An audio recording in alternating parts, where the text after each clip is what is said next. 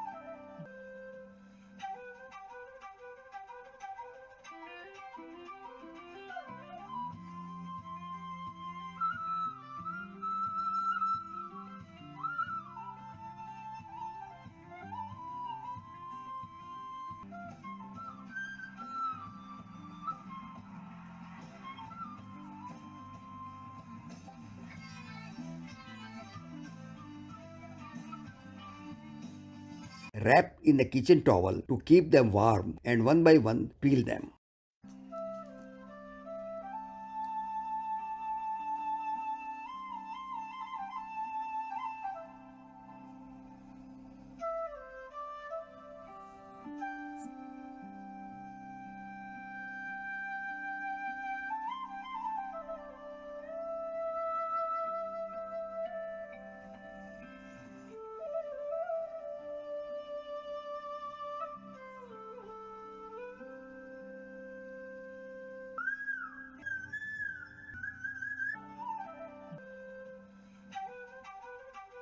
If the chestnuts have cooled down, then the cell and skin will stick again. So it will be difficult to peel them. In that case, heat them again